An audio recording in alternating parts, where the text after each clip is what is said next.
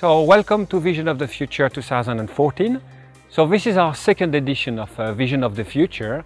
The first one took place in 2012 and it was a huge success. So that's why we decided to do it again. Uh, there will be 6,000 farmers coming from 40 countries across the world, uh, speaking nearly 40 languages.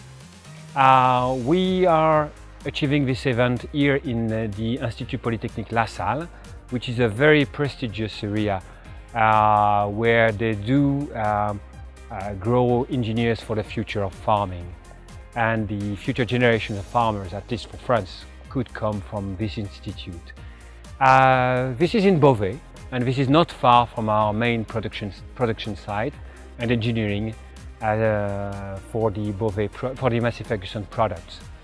Um, it is going to last 11 days this year. It's longer than two years ago. Uh, and we will have roughly 550 uh, customers per day.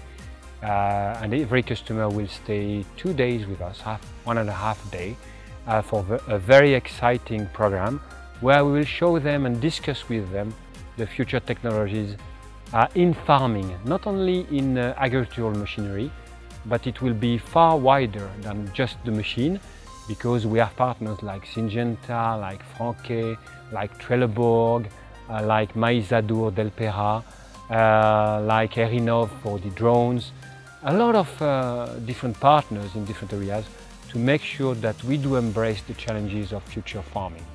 So I know that I, I will have the pleasure to welcome part of those who are looking at that video in the next 10 coming days here in the Institut Polytechnique La Salle. For the others, I will have the pleasure to welcome you in two years' time to discover our future machinery, our future technology for a future generation of new farmers.